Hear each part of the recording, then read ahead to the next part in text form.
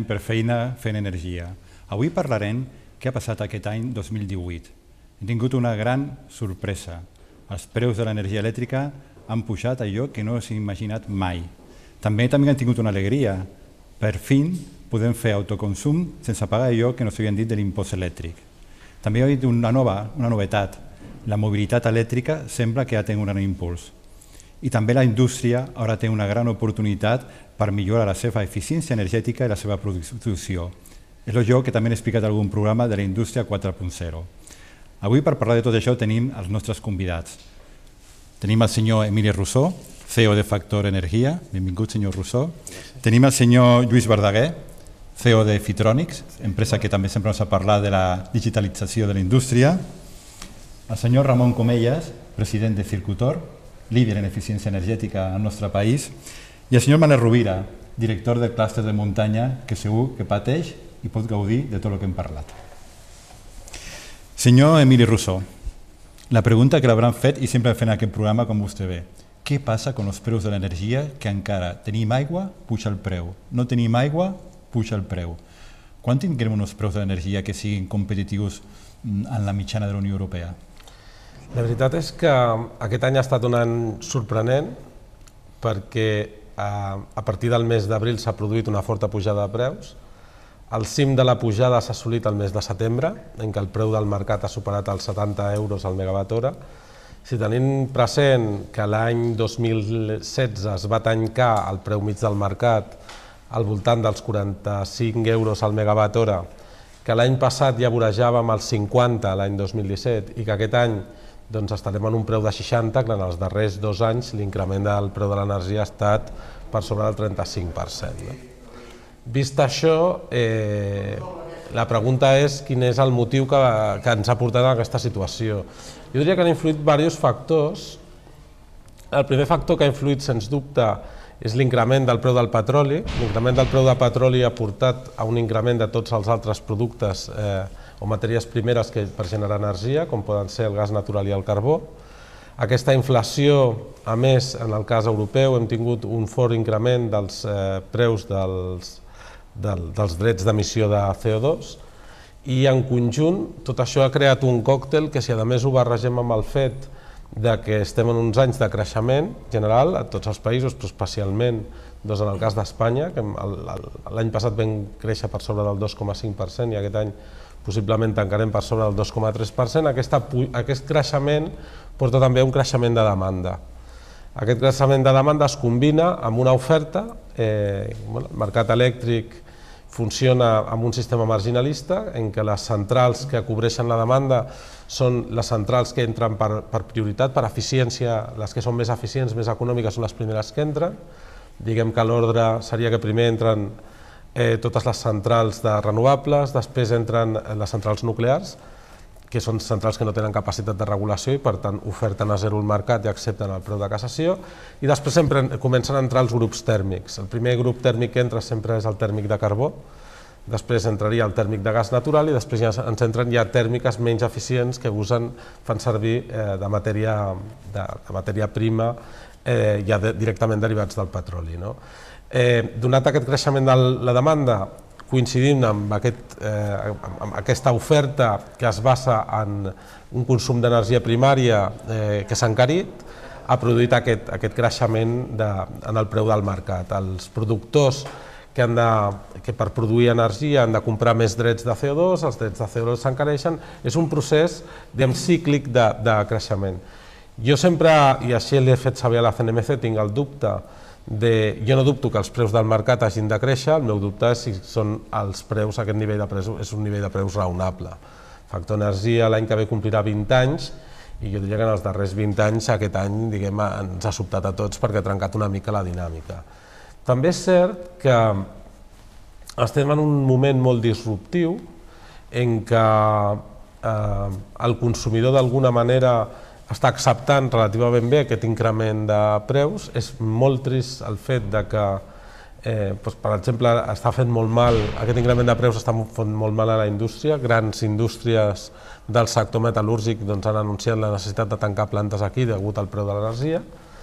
Eh, fa poc estava amb el secretari d'Estat d'Indústria i m'explicava un cas concret d'una gran empresa siderúrgica de la zona de Galícia, no? que han fet reunions per intentar arreglar-ho, però la realitat és que la solució, crec jo, passa per un increment en, la, en, en el que seria eh, doncs, eh, les plantes de generació elèctrica.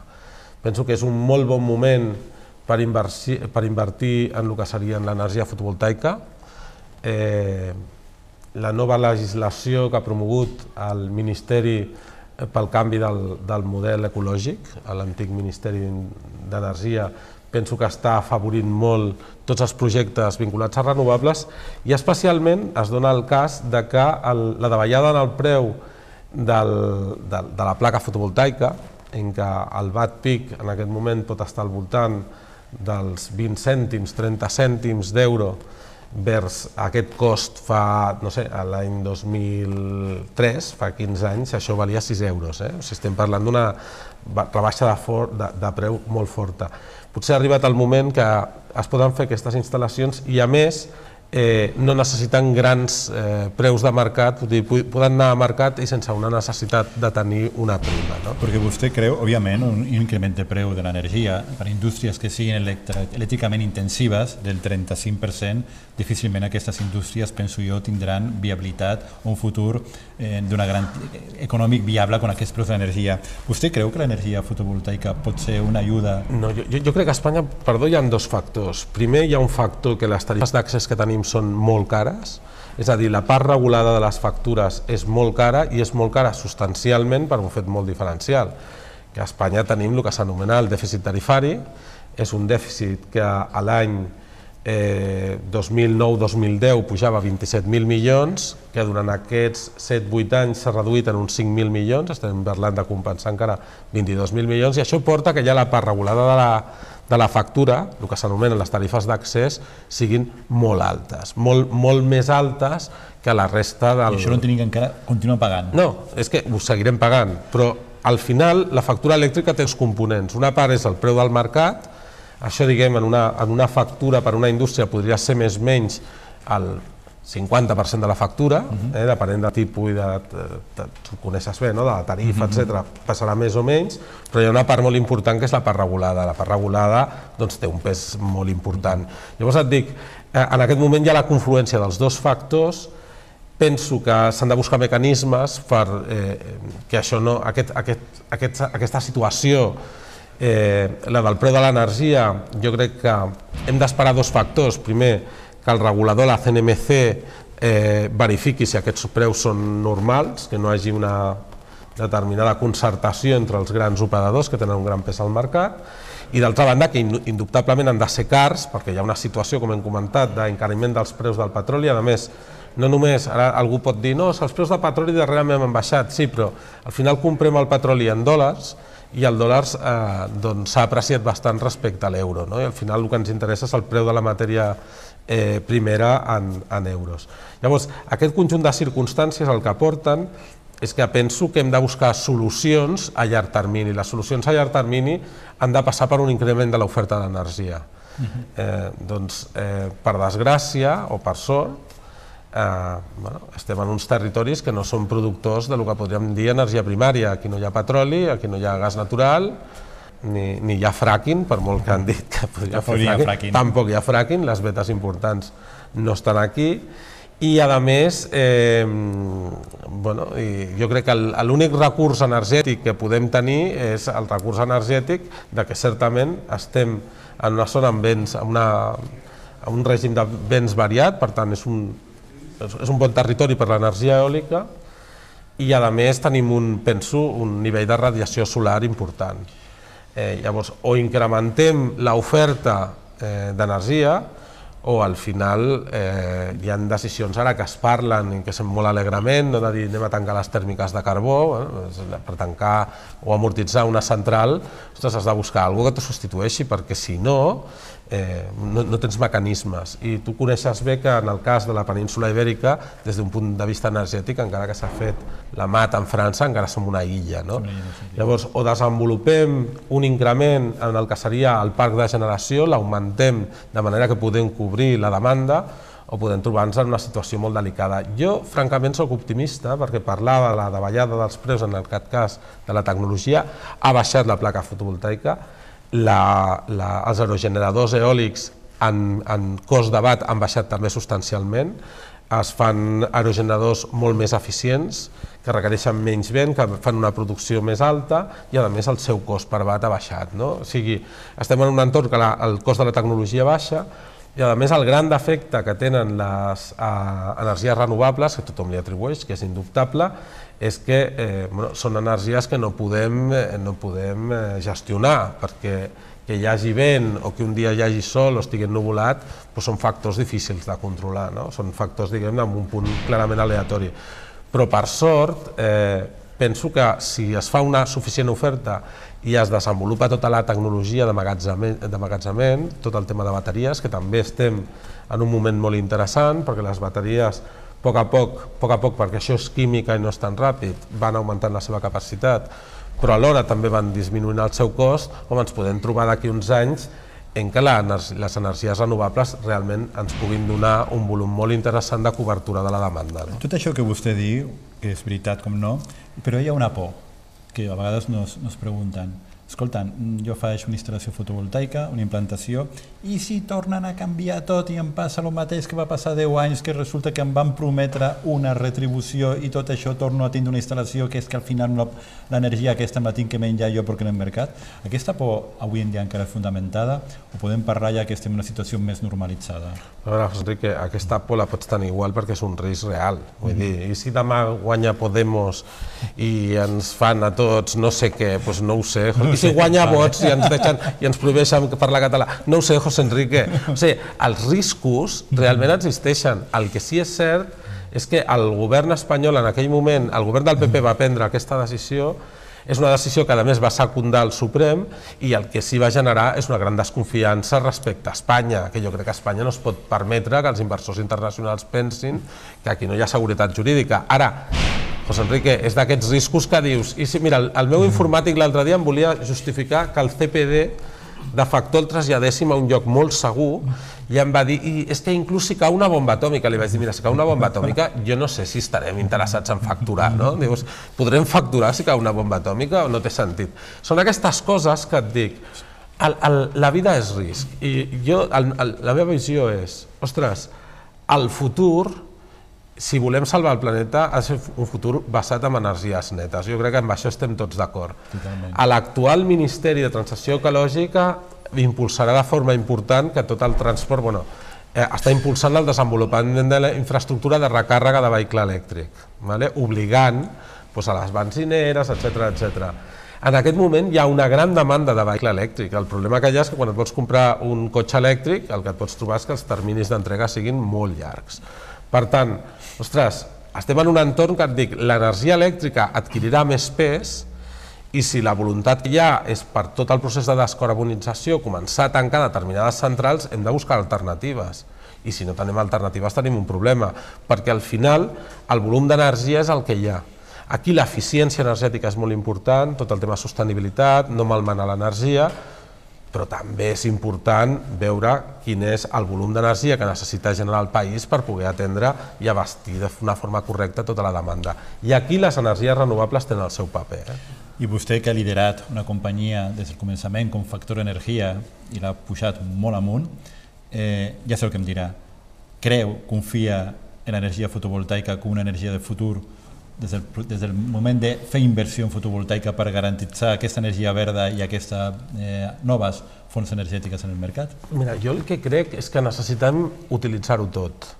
Llavors, a Alemanya hi ha 6 milions de famílies que són productores de fotovoltaica eh, com tu sabràs, a Espanya hem posat tantes cortapisses i tants problemes per poder fer una inversió fotovoltaica i amb uns terminis de retorn tan llargs que et dic, bueno, fins fa poc era una, bueno, no diré que era una tonteria, hi havia gent compromesa que ho fes, però des de, no, no, tenia que ser algo emocional perquè des d'un punt de vista racional era inacceptable.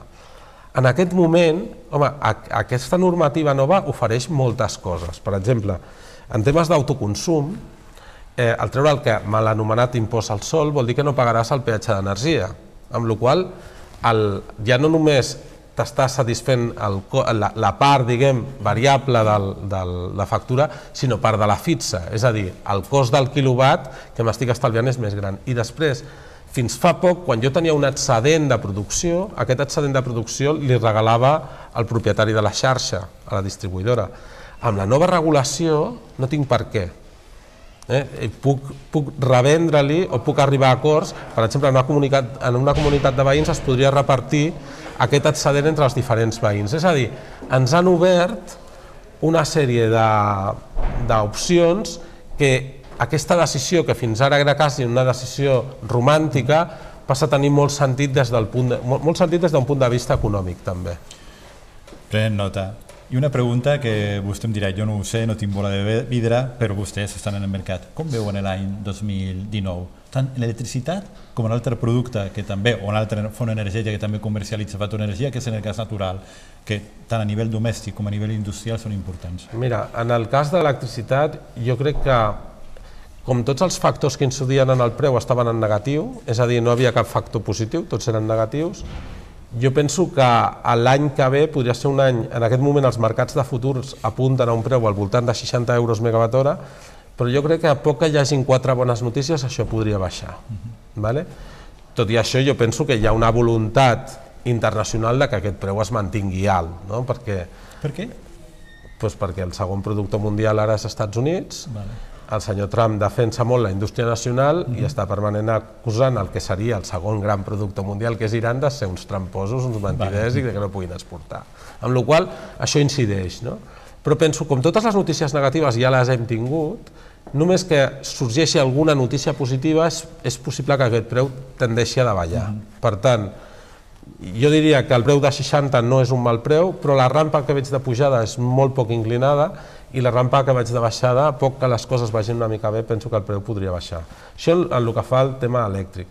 El tema de gas és molt curiós perquè hi ha una quantitat de gas natural liquat a, Espanya bestial, vull dir, ja no saben on guardar-lo, i jo penso que el gas també ens pot donar alguna sorpresa positiva, eh? tenint en compte que ara té un preu elevat, i jo crec que el preu podria situar-se l'any que ve, doncs, jo diria lleugerament potser per sota de 20 euros al mega, però bueno, s'ha de veure una mica eh, com tots aquests factors d'accés de, de gas natural s'acaba gestionant. No oblidem que Espanya es pot, podria convertir-se en un gran hub de gas, donat tota la capacitat que tenen, tant d'emmagatzematge com de liquefacció i regasificació. Eh? Senyor Rousseau, obert quatre línies de debat que debatirem amb els nostres convidats. Competitivitat preu en la indústria, autoconsum i mobilitat elèctrica. Jo us convido a tots vostès que a partir d'aquest moment facin la seva opinió eh, d'aquests temes. Potser, senyor Comelles, eh, que vostès tenen una gran tradició en el tema de energètica i tecnologia aplicada a la indústria. Com veu el tema de l'autoconsum des de la seva empresa? Jo crec que bé, jo crec que les, la baixada que hi ha hagut amb les plaques solars, sobretot també amb els generadors eòlics, però molt més amb les plaques solars que ha sigut tan espectacular, farà que això estigui canviant. Eh, com deia el senyor Rousseau fa un moment, el, hi, ha dos, hi ha dos factors que quan coincideixin poden, poden fer canviar molt el panorama actual. Per un cantó, el que puguem guardar la corrent, puguem agatzemar. O sigui, en aquest moment la corrent generada amb energies renovables, el vent, el sol, doncs ja és rendible. El problema és que en tenim quan en tenim i no la tenim de poder guardar, si no la podem guardar no ens serveix. I això també està avançant molt ràpidament i està avançant precisament per, perquè les bateries dels cotxes han fet que avancés. Una bateria de fa 4 o 5 anys, una bateria valia 700-800 euros al quilowatt i en aquest moment en valen 300 euros al quilowatt, ja estan baixant molt ràpidament. I no baixen més perquè hi ha una escassez de bateries tremendes al món. Els cotxes estan absorbint totes les fabricacions de bateries i no hi ha, no, no hi ha bateries, però s'estan fent grans fàbriques de bateries en aquest moment. Jo crec que quan les bateries comencin a, a créixer més, la fabricació de bateries, i n'hi hagi més, el preu de les baixaries baixar molt. Hi ha estudis que diuen que les bateries del 2025 poden valer menys de 100 euros al quilowatt, si es coincideix en aquestes dues coses, la baixada que ja han fet les renovables, amb què puguem començar a guardar corrent en bateries, evidentment el preu del, del quilowatt baixarà, baixarà la força perquè el, el, preu, el preu de generació, s'estan adjudicant preus de generació en parcs solars, sobretot fora d'Espanya, a 3 i 4 cèntims el, el quilowatt. Vull dir, això és la meitat del cost menys que tenim a Espanya. Vull dir que quan això ho puguem juntar segur que tindrem molt millors preus de l'electricitat. I senyor Lluís Verdaguer, la indústria que vostè l'assessora i implanta la digitalització, com pot gestionar des de la gestió energètica aquest increment de preus o aquest canvi de model en el qual nos ha explicat el senyor Rousseau que potser una part que serà autoconsum que s'ha fet o generació que s'ha autoconsumit a la pròpia indústria? Sí, des de l'apartat que conec és el tema d'indústria 4.0. Jo crec que el que facilita més amb tot això és gestionar i optimitzar el consum energètic i la manera de, de gestionar-la és tenir una visualització molt fàcil, molt intuïtiva, que, que tinguem en tot moment què estem consumint, quilowatts i realment el que ens interessa més per, per, per poder prendre decisions o veure què estem en cada moment consumint és ja tenir-ho directament en euros. Però bàsicament és tenir una visualització molt fàcil, intuïtiva i en tot moment sapiguem què estem fent i quines possibilitats tenim. Con el seu sistema se pot integrar aquesta possibilitat, com ha dit vostè, conèixer perfectament en euros què s'està consumint i... Perfectament. Nosaltres us podria mencionar exemples de clients que bueno, se suposa que tenim un consum, donem per suposada moltes coses, però al moment que tens una gestió fàcil, visualització fàcil i intuïtiva, és quan realment la gent prenem mesures i optimitzem tots els recursos. Señor Manuel Rivera, usted es director del Cluster de la Montaña. ¿Qué es el Cluster de la Montaña? ¿Qué, qué engloba? Industrias i sobretot el tema del cost energètic, com les ha influït, o la possibilitat també, que estem parlant aquí, de poder generar una part de, o tota la seva energia. El territori de muntanya eh, és un territori que, per la seva estructura, té una gran part de petita i mitjana empresa, sobretot petita. Això vol dir que no té massa crítica, i que està en una situació de desavantatge competitiva. Això fa que en augment de comprar ho té pitjor. Augment de vendre també ho té pitjor. Eh, de fet, sobreviu en relació a les empreses grans perquè té un producte diferenciat d'una gran qualitat. Això li permet de tenir més marge, especialment per l'eficiència de cara al mercat. Però no podem oblidar que, de fet, l'empresa viu del marge i de la rotació, les dues coses, i com a empresa petita, bàsicament viu del marge i per tant eh, si té uns preus elevats en relació als competidors i s'oblida dels costos eh, té risc eh? com deia el senyor Rousseau eh, la vida té risc i les empreses tenen risc i el risc bàsicament a l'empresa d'on li ve li ve de l'entorn l'entorn eh, sobretot l'entorn general eh, té l'economia, legislació, tecnologia, política i cultura que és el que influeix a capdavall val? Eh, de fet l'experiència ens fa veure que hi ha una relació directa entre política i economia i que aquestes afecten la legislació. Vull dir, perquè sí que és cert que la tecnologia ens pot aportar avantatges, es pot ajudar moltíssim, segur, esperem molt d'ella, eh, però la legislació aquest davall a través del marc regulador jo no sé què carai acabarà passant. Val? Estem parlant d'aquests milions encara a compensar i de la part regulada, etc etc. És dir, eh, tot l'optimisme de cara a aconseguir avantatge de costos en relació a la compra, nosaltres com a clúster hem intentat d'agregar, eh, ens ha sigut difícil perquè l'oferta eh, està molt concentrada, en realitat és un oligopoli avui en dia encara, el fet de que es pugui desregular i que pugui entrar tota la fotovoltaica es veig com una gran oportunitat també, però la confiança o desconfiança vindrà que és el que estiguin fent els nostres polítics. Jo sí que et faig un apunt, eh? Vinga. No és un oligopoli. El que passa és que ja encara hi ha aquesta cultura d'anar a espetegar sempre al mateix puesto. Avui llegia a l'avantguàrdia que aquesta nova comercialitzadora que està muntant a l'Ajuntament de Barcelona amb tot el know-how nostre, perquè més de la meitat d'empleats que ha fitxat la Colau han sortit de Factor Energia, tot sigui dit. Felicitats, en 20 anys també serà una universitat. Però el, el que al final et dic és que em sopava molt que hagués anat a Endesa a comprar certificats de renovables. Nosaltres tenim eh, 480 milions de quilowatts verds i dius, hosti, i, i ha anat a Endesa a comprar-li, o sigui, anem amb un discurs i després espateguem sempre al mateix puesto. És un mercat competitiu, jo crec que és un bon moment per poder triar subministrador, hi ha alternatives, no són els de sempre, ja no és un oligopoli, quan vaig començar 20, fa 20 anys era un oligopoli pur, ara hi ha més alternatives, i després jo crec que estem en un moment fantàstic de disrupció, eh? Estem en un moment en què, ho comentava el senyor Comelles, en el tema renovable ens enfrontem en unes, a una sèrie d'innovacions molt sobtades que fan que es puguin fer moltes coses i que siguin rendibles des d'un punt de vista econòmic. I a més estem en un moment que la, la mobilitat està canviant. I no perquè sí, és que la Unió Europea ja ha determinat que la mobilitat lleugera i privada sigui amb cotxe elèctric o tota la tecnologia de l'hidrogen, que això porta un altre camí, i que la mobilitat del, del passant, del camió passant, es basi en gas natural liquat.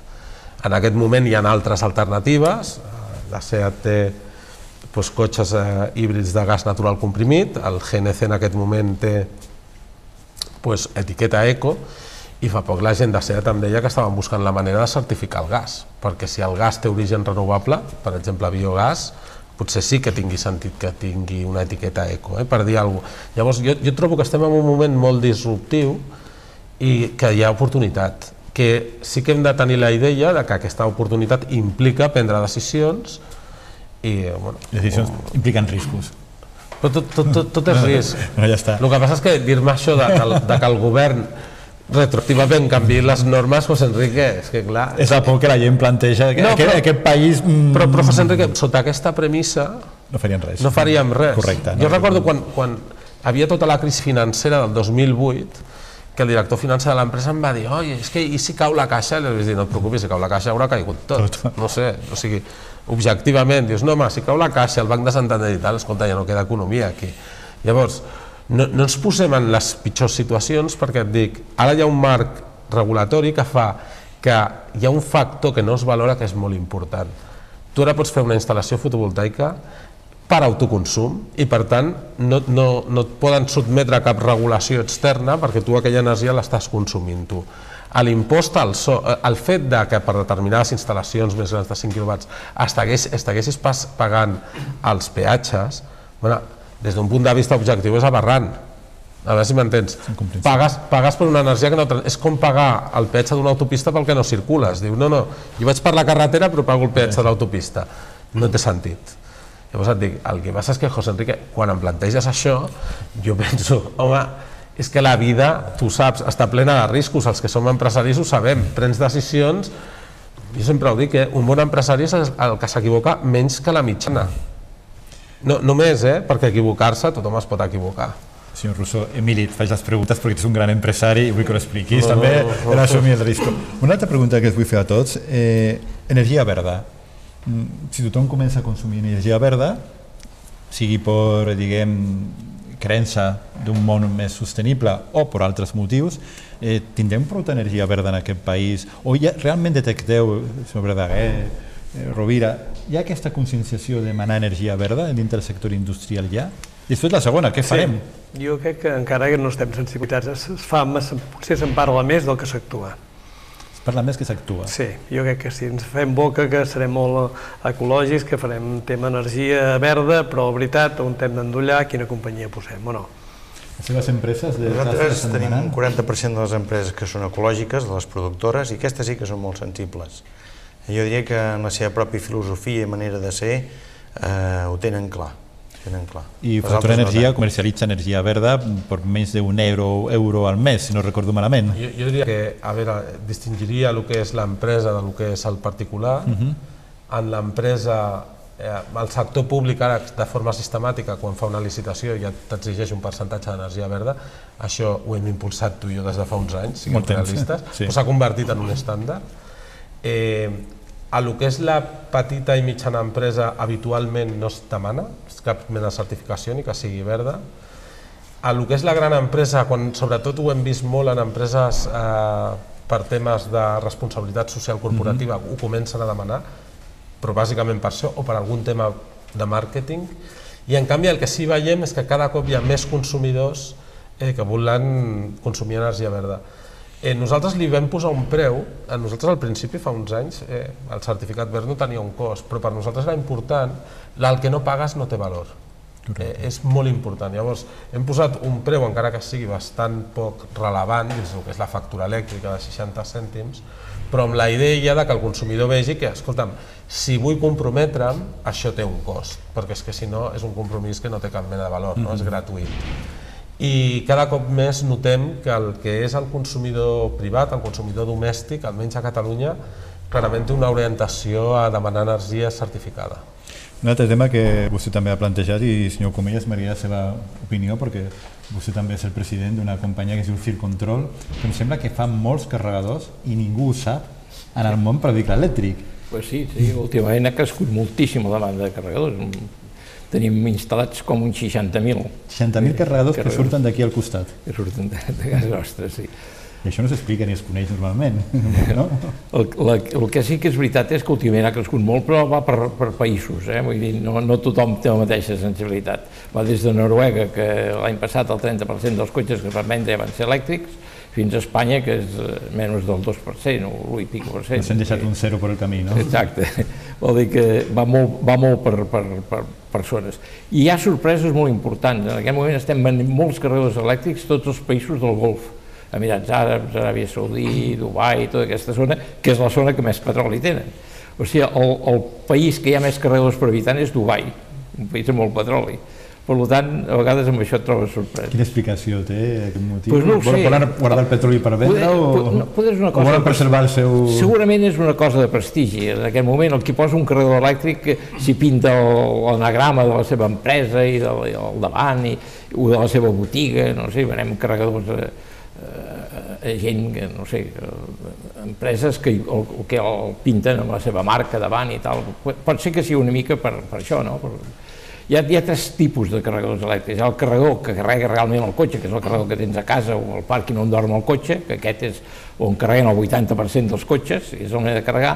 Llavors hi ha el, el carregador de prestigi que tenen els hotels, els supermercats, aquests puestos que és per, per prestigi de l'empresa i llavors hi ha el carregador de, de les autopistes, el carregador de, de conveniència que quan no arribes a casa tens de parar per carregar. Bueno, el, correcte, el correcte des del punt de vista és carregar, diguem, el correcte seria carregar a casa i només fer els altres dos sistemes com un, un sistema d'emergència, d'acabar És que re, realment jo crec que el cotxe és així, el cotxe no va carregar a la gasolinera no, o a l'electrolinera, el cotxe té de carregar on dorm. Uh mhm. -huh. I és més, jo diria que si vas a la, per la carretera i tens d'arribar a casa i falten 100 quilòmetres, carregues per arribar als 100 quilòmetres, no tots per omplir tota la bateria, no? uh -huh. per, per 100 quilòmetres, vull dir, amb un carregador de 50 quilowatts cada minut que et passes carregant fa 7 quilòmetres, per tant, si no t'hi vols estar gaire, carregues, comptes quantes hores tens d'estar per carregar els 7 quilòmetres per minut per arribar a casa, carregar els 7 quilòmetres i arribes. Jo crec que els carregadors de les electrolineres són per això, no són per, per, per anar a carregar el cotxe. I eh, abans havia una gran complexitat per tots els punts de recàrrega. Això ha canviat, senyor Rousseau? Ara és més fàcil eh, gestionar la recàrrega de vehicles elèctrics sabien que fent energia elèctrica que prové d'una xarxa, que per al mig hi haurà un comercialitzador... Home, jo, jo diria que des del punt de vista de factor energia, primer, com deia molt bé el senyor Comelles, carregar el cotxe on dorm i sobretot la càrrega nocturna és la que és bona, diguem, pel medi ambient. Uh mhm. -huh. La càrrega ràpida, eh, que pot ser molt necessària, a més és molt necessària, penso, per desenvolupar tot el que és el vehicle elèctric, doncs òbviament es pot fer unes hores punta en què no afavoreixi res el que seria l'eficiència energètica, sobretot les energies renovables. I després hi ha marques com Porsche que està desenvolupant uns supercarregadors que requereixen una potència de 300 kW que jo t'ho carrega en un moment però és una bèstia parda i jo no crec que allò sigui bo des d'un punt de vista energètic. Però en tot cas, eh, la recàrrega és molt important per donar-nos seguretat quan fem un trajecte llarg i dius, escolta'm, si tinc algun problema tinc alternatives. Visió de factor. Estem parlant molt de la sostenibilitat, però creiem que els ajuntaments, bàsicament a les ciutats de Barcelona i Madrid, es comença, hi ha una gran preocupació ara per la qualitat de l'aire. Uh. -huh. Inclús s'està afavorint, a Madrid ja s'ha posat en marxa, jo vaig estar la setmana passada, hi havia un dia concret en què els vehicles no els hi deixaven ni, a, ni circular ni aparcar al centre de la ciutat, bueno, doncs això està portant una necessitat de transformació. Aquesta necessitat fa que hi hagi una gran demanda de vehicle elèctric, en aquest moment us ho comentava, eh? o sigui, vols comprar-te determinat eh, un vehicle elèctric i jo crec que el, el, la llista d'espera et pot portar 7-8 mesos, per tant no el tens d'avui per demà, un cotxe diguem de primera mà, de sigui un Nissan, i ja no et parlo de marques d'aquestes de més prestigi. La nostra visió és que s'està impulsant molt, entre altres coses, en aquest moment la comunitat de veïns no es pot negar si un veí vol tenir un punt de recàrrega. Això sembla una tonteria, però és molt important. I el que sí, en el cas de Factor, ens estem especialitzant en, en el que són les instal·lacions més complexes, és a dir, aquell aparcament en què eh, bueno, s'ha de parlar amb la comunitat, s'ha de buscar solucions, els serveis comunitaris no tenen prou potència, potser s'ha de fer una escomesa, en aquest tipus d'instal·lació més complicada, jo crec que nosaltres eh, doncs estem donant resposta. I he de dir que en el cas de Factor treballem amb Circ Control perquè és una marca molt sòlida i, i confiem molt. Dintre d'aquest tema una pregunta per el senyor Comelles i per al senyor Rousseau Emili. Eh, avui en dia posar un punt de recàrrega a casa meva en un pàrquing eh, l'aparell tecnològicament és complicat, és segur, o, o encara hi ha aquella mentalitat que és un endoll tipus xuco i això... No, no. Tant, tant com, com xuco no, no, és, és senzill. El, els endolls, endolls hi ha bàsicament dos, dos tipus d'endolls, els endolls de, de, que carreguen amb alterna, que carreguen corrent contínua, i els que carreguen corrent contínua. Els endolls de corrent alterna, que són els endolls que carregues a casa, que això s'ha simplificat molt perquè fins fa poc hi havia cotxes que carregaven amb trifàsic i cotxes que carregaven amb monofàsic, els cotxes de trifàsic estan desapareixent tots, vull dir, no hi ha ningú que tregui un cotxe nou que carregui en trifàsic, tots carreguen ja en monofàsic, per tant és senzill. Llavors són cotxes que carreguen normalment 32 ampers i que el que pots fer és posar un sistema que mesuris la corrent que has contractat i el cotxe només se n'emporti el que sobre de la corrent contractada. Això fa que no tinguis de contractar tanta corrent. Si tens contractat 30 ampers, doncs poses un transformador de 30 ampers a l'entrada lloc, de la casa, o del, parc, no en tinguis el cotxe, connectes aquest transformador en el carregador, endolles el carregador i el carregador només s'emporta el que et sobre de, a la casa dels 30 ampers. Si engeguen la rentada, doncs baixa el cotxe, etc etc. Uh -huh. Amb la qual és una manera d'aprofitar al màxim la potència, no haver de contractar més potència i això són carregadors, no sé, que valen menys de 1.000 euros, tot, eh, tot plegat, vull dir que no són carregadors sí, que econòmicament és... Econòmicament és barat. I la complexitat que també hi havia abans de tot això, eh, des de Factor Energia, que faciliten que algú client de Factor, o no client, després de client de Factor, eh, pugui demanar això i Factor gestiona tot el tràmit? Com ho fan? Jo, jo t'explico. Uh, realment el nostre competidor en aquest mercat és la, el propi fabricant de cotxes, Uh -huh. perquè normalment avui dia quan venen un cotxe et regalen, entre cometes, perquè està incorporat en el preu, et regalen el punt de recàrrega. Eh, el que passa és que el que no ha contemplat el fabricant de cotxes és el que et deia, ni el pàrquing comunitari, ni la manca de potència, ni solventar 100 problemes, perquè al final inclús des de, i, i suposem una instal·lació relativament fàcil, que els comptadors estiguin a baix i puguis tirar línies del comptador, bueno, doncs hi ha un tema de metros també. Uh -huh. Llavors, eh, quan s'ha de fer ja una oferta mida i s'ha de parlar amb la comunitat i veure per on passen les coses, aquí és on nosaltres ens estem obrint, ens estem obrint mercat. A mi m'agrada més posar, eh, no, no posar la tecnologia més bàsica, m'agrada un punt més de tecnologia, que puguem tenir doncs, eh, un comptador intern, que es pugui intentar eh, en el futur crear una, una, una, diguem, un nivell superior de, a nivell de software que permeti ja temes de gestió i tot això, diguem, ho veurem amb, el, amb, el, els pròxims, jo diria, anava a dir els propers anys, però penso que els propers mesos, perquè tot va a una gran velocitat. Però jo veig que el tema del, del vehicle elèctric en aquest moment és un factor imparable. Òbviament, com deia el senyor Comelles, hi ha països on va més ràpid, ara eh, el, el president de Xina ha dit que tots els vehicles tenien que ser elèctrics i allà eh, diguem, no, com no és una democràcia, vull dir, el que diu el president és el que es fa, no? Per tant, l'impuls en el món existeix, també hi ha un problema de matèria primera, sobretot el tema del cobalt, i després ja, ja s'estan buscant altres derivades com reciclatge de bateries, com eh, es reciclen els materials i tal. Però jo, jo si, si tinc confiança en alguna penso que el, des, el desenvolupament tecnològic va molt ràpid, a més a les innovacions cada cop eh, s'implanten més ràpidament, en el món es difondren més ràpidament i com comentava el senyor Comelles, no? la investigació en bateries eh, ens està portant cada cop a bateries eh, a nivell de capacitat més econòmiques, parlava de baixar, bueno, de que valien 600, parlaven de 300 i ara estàvem gairebé a 100 dòlars, no? Pues d'alguna manera, bueno, estaran a 100 dòlars, perdó, a l'any 2025, però d'alguna manera les bateries poden ser una, una, una eina essencial per, per poder tenir una economia basada en renovables, per lo que dèiem. No, no tens capacitat de gestió en aquest moment perquè eh, bueno, a Espanya ho hem viscut en els darrers anys, eh, moments, recordareu, de la ciclogènesis explosiva, sí. que teníem una gran producció eòlica i Red Elèctrica obligava parcs a aturar-se. I deia, escolta'm, eh, pareu els parcs tal i tal, i eren un volum de megawatts important, perquè m'acabareu sobrecarregant les línies. Eh? No, no tens una altra alternativa de magatzematge. Jo crec que entre el vehicle elèctric, que és una alternativa de magatzement, eh? sí, sobretot de recàrrega nocturna, i el poder comptar amb bateries, home, podem pensar en fer realment una transició de, de l'economia a una economia, entre cometes, descarbonitzada. Eh? I, eh, senyor Verdaguer, senyor Rovira, que vostès al final tenen empreses, indústries, el tema de l'autoconsum, la mobilitat elèctrica, com lo viuen? Creuen en ell o encara... Vostè té una intuïció que encara no... Jo personalment estic convençut amb, el, amb aquest tema, autoconsum, mobilitat elèctrica, estic totalment convençut fa, fa molts anys i la meva pregunta és com és que no es hagi implantat fa molt, fa ja molts anys que ho tinguem ja totalment implementat. Això passa que a vegades el concepte nosaltres que toquem més de la indústria 4.0, que fa molts anys que estem en aquest tema i encara la gent no estem en potser prou madurs per començar a implementar. El que sí estic convençut que tot aquest tema energètic avançarà molt al moment que tinguem la informació d'una forma molt fàcil, molt intuïtiva, avançarem molt ràpidament. Senzillament, la informació és poder i poder atendre les, la informació i prendre les decisions al moment que toqui li interessa a tothom i tem políticament no importa quin partit siguin formació és poder Bé, doncs per nostra, quan parlem amb tendències, jo aquí aprofito, estic d'acord amb que la tendència eh, les, és positiva si pensem en les comercialitzadores, també és positiva si pensem en la cultura. És dir, abans en el territori rural, especialment la muntanya, eh, quedava molt apartada la civilització i avui en dia mm, vas a pagès i tenen la tablet i fan l'ordinador i es connecten i tal, no?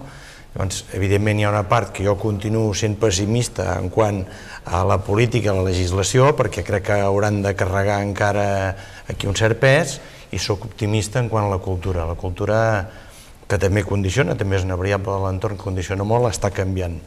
I en aquest sentit sí, o sigui, comercialitzadores, cultura, tecnologia, tot això, tot això ens va a favor. Tot això ens va a favor. I tot això, senyor Comelles, que a vegades vostè explica que serà com internet, com lo gestionarem? També Control fa sistemes de gestió energètica, gestió de pàrquings, gestió de punts de recàrrega. Tot això al final... Eh, estan coincidint moltes coses, que totes plegades ajuden. Tot això que parlem dels, el que estan fent a Alemanya, amb, amb milions de, de gent que tenen petits parcs fotovoltaics i tal, això no hauria sigut possible si no hi hagués sigut les comunicacions, que, que no haguessin avançat les comunicacions com han avançat Ara, connectar una cosa amb un sistema informàtic al núvol val molt poc, no val res quasi. Llavors permet gestionar milions de, de punts, de, de petits punts de càrrega, que això no hauria sigut possible. Jo a vegades dic que estem a la tercera revolució de l'electricitat. Eh? La primera revol gran revolució de l'electricitat vam ser quan vam fer corrent alterna i vam poder portar la corrent des dels punts de producció fins a les ciutats. I això va ser un, el que va fer créixer de cop la, la corrent. Però en aquell moment només sabíem portar grans quantitats d'electricitat, no sabíem fer res més. Vam posar motors al posto dels, de les turbines de, de, de, de, de, de que hi havia de motors d'explosió o de, o de, o vapor o que fos, i fèiem rodar l'eix i posàvem les màquines allà. Encara no havíem fet res més. Després, als anys 50, 60, ens vam adonar que l'electricitat era molt fàcil d'automatitzar. Vam començar a posar automatismes, vam i va ser un altre canvi que no ens en vam adonar perquè el vam anar fent a poc a poc. Jo crec que ara estem fent el tercer canvi, estem veient que podem produir l'electricitat l'hem democratitzat, tots en podem fer una mica, la podem posar en una xarxa semblant a internet, tothom hi posarà el que pugui, la traurà el que pugui, es pot controlar fàcilment i les companyies elèctriques, no vull, no vull explicar, espatllar el negoci del senyor Rousseau, però crec que s'han més els gestors de la xarxa, els que ens queden que la xarxa sigui estable, que tal, i ens cobraran molts cèntims per mantenir la xarxa estable i no tant per la cura que els hi comprem els hi venguem. Jo ho veig una mica així, segurament. No, no, Ramon, jo jo t'ho juro que quan explico el futur, sí. jo sempre dic que Factor Energia deixarà de ser una empresa de subministradora i passarà a ser una empresa prestadora de serveis. Sí, sí. I ara quan citaves lo d'Alemanya i les, les comunicacions, a Alemanya aquests milions de productors resulta que s'han creat el que l'anomenen Virtual Power Plants i s'agrupen i funcionen a nivell de sistema elèctric com si fossin una planta única, sí. prestant serveis al sistema, etc. Però tot això és tota aquesta capa tecnològica Bueno, és que, clar, és que ara parlaríem ja d'intel·ligència artificial, aquest senyor parlaria de digitalització. El que passa és que quan parlem d'això hi ha un període de transició. Eh, És a dir, l'altre dia em van convidar a un esmorzar per parlar de tema de mobilitat elèctrica amb grans experts de mobilitat i tal. Però bueno, arribarem a una mobilitat completament elèctrica, però en aquest moment, per exemple, el gas natural comprimit, per lo que són els petits, eh, les empreses, eh, una, un transportista d'IKEA, eh, ara està fent una transformació a gas natural comprimit. Per què? Perquè no hi ha infraestructura prou de recàrrega i fan una mà de quilòmetres. Llavors dius, ostres, entre la tecnologia òptima i la que hi ha ara, bueno, doncs hem de fer una transició i anar a poc a poc. I un últim apunt, quan, quan has comentat, per què això no s'ha donat abans? El, el vehicle elèctric, des d'un punt de vista tecnològic, i el senyor Comella sap molt, és molt senzill, eh? Sigui, fa molts anys que existeix. I a més, molt més senzill que un vehicle d'explosió, eh? que fiques allà un derivat del petroli i el fas explosionar. És la pera. Però sí que t'he de dir que, tu dius, no s'ha implantat abans. A Factor Energy vam comprar el primer cotxe elèctric l'any 2011 i valia molts calés. Vam comprar un Nissan Leaf i en aquell moment era un cotxe de 40.000 euros. Perquè et fessis una idea, és un el preu d'aquest cotxe, que era un utilitari, era més car que comprar-te un BMW X3, per exemple, per, per posar un exemple. No? Llavors et dic, què ha passat aquests anys? Home, el punt essencial que encareix molt el cotxe és el cost de la bateria. A mesura que baixa el preu de la bateria, et baixa el preu del cotxe. S'ha comentat, hi ha molta demanda, també hi ha molta demanda de cotxes elèctrics, perquè és una demanda mundial. Llavors, el que comentava, vols tenir un cotxe elèctric, però és que no, te'l, no o sigui, ara costa molt, eh? Sobretot si vols escollir el model, el cotxe i tal, eh, tant a Tesla com a Audi, els d'Audi e-tron, tenen llistes d'espera que a més per, per apuntar-te a la llista has de pagar. Audi et demana 2.000 euros i Tesla et demana 3.000 euros, diguem, eh, que és un acte de fe, eh? perquè tu et poses allà i no, no et diuen quan. I llavors, home, penso que en aquest moment hi ha més demanda que oferta, s'ha de regular l'oferta i la demanda, eh, com s'ha comentat, s'estan fent més fàbriques de bateria i sobretot s'està convertint, s'està invertint molts recursos per desenvolupar, ja no diré bateries, sinó sistemes de magatzement. Home, amb això, i al final els recursos, tecnologia, etc. Bueno, eh, a mi m'explicaven que s'està invertint també en hidrogen, inclús l'agenda, els, els alemanys en el tema dels cotxes havien explorat molt la via aquesta del gas natural comprimit amb la idea inclús de fer gas natural sintètic, eh? o sigui, agafant CO2 de l'atmosfera i tal, el que passa és que el cost d'això en aquest moment ho fa antieconòmic. Però vull dir, s'està investigant molt, eh? Jo crec que... Però jo crec que Soc optimista, eh? Soc Jo, jo soc optimista. optimista, el que passa que és un concepte, a vegades no de, de preu, és de mentalitat. Jo ho veig amb el que conec més en tema d'indústria 4.0 i els avantatges que porta tenir el coneixement, prendre decisions, té una amortització molt ràpida, fulminant, però és un tema de concepte, de mentalitat. Passa la, la, estic d'acord, eh? però la, la mentalitat, jo, jo, és que, jo, jo penso, jo és que jo, ja em passa que no sóc un natiu digital i tot això estic una mica tal, eh? però jo veig que la, hi, ha una, hi ha un canvi de mentalitat. Quan parlàvem aquest, en aquesta esmorzar de mobilitat, la conclusió era que en el futur els nostres fills no tindran carnet de cotxe, eh, que els cotxes es conduiran sols sí. i que a més no haurà propietaris de cotxe perquè tot serà un car sharing. I que a més les grans marques automobilístiques tot això, tot aquest discurs l'han assumit. I la pròpia Mercedes declarava l'altre dia que més que venedora de cotxes en el futur serà venedora de quilòmetres. O sigui, tota aquesta transformació està venint el que passa és que et dic, hi ha un període de transició que no, no et pots saltar. I per desgràcia pues, la nostra generació, bueno, diguem els que tenim més de 50 anys, que penso que aquí som tots, perdó, eh, pues estem acostumats a tenir el cotxe elèctric, a, a tenir cotxe, a tenir la plaça de pàrquing, a tenir... però els nostres fills o els nostres nets tot això no ho tenen. No- Tota aquesta transformació s'ha fet, no? I dius, eh, bueno, tenen altres valors, tenen altres, altra forma de comportar-se i sobretot, jo diria que la, la, la diferència principal és que són nadius digitals. Jo crec que això és molt important. Eh? important sí. Estem arribant al final del programa, el temps vola, s'esgota aquest recurs amb vostès. Eh, M'agradaria que cada un de vostès fessi què demanarien a l'any 2019 en l'àmbit energètic. I res, unos segons, senyor Emili Rousseau, Jo, sisplau. jo el que demanaria a, en l'àmbit energètic és una davallada de preus pel consumidor, primer regal, el més important, i després que la implantació tant de l'autoconsum com del, del vehicle elèctric experimenti una, un gran impuls a, a aquest any que comença. Senyor Verdaguer. I el punt de vista és que voldria que tinguéssim una monetització molt fàcil i intuïtiva en cada moment de què estem consumint i per poder prendre decisions. que hi hagués facilitat per anar implementant totes les noves tecnologies i que no ens hi posin gaires problemes. Senyor Rovira. Que la liberalització del mercat fos eh, més ràpida. Pues gràcies a tots vostès. Com ha dit el senyor Miri Rousseau, estem davant d'una disrupció energètica i estic convençut que aquesta disrupció energètica també portarà nous models de negoci i al final l'economia, l'euro, com també ha sortit, nos impulsarà aquesta economia energètica sostenible. I fins al proper anem per feina, fent energia i gràcies a tots vostès.